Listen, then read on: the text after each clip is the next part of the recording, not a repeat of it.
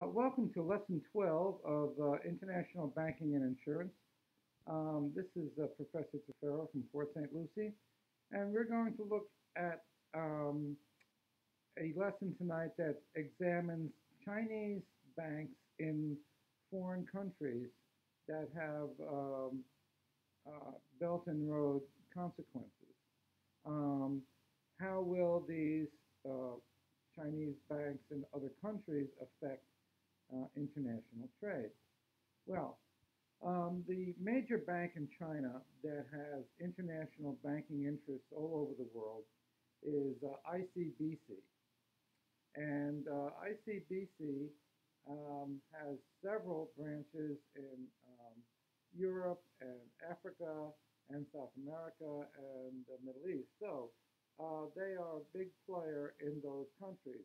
However, regardless of the fact that ICBC um, has all of these branches in these countries, they will still not be the favored bank for getting loans for businessmen along the Belt and Road corridor.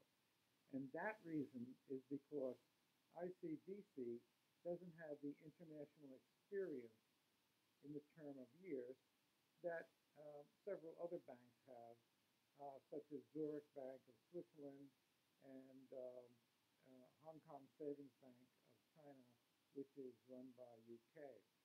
Um, those banks have uh, a couple of hundred years experience in the international arena, so they will have an advantage over ICBC uh, outside of China.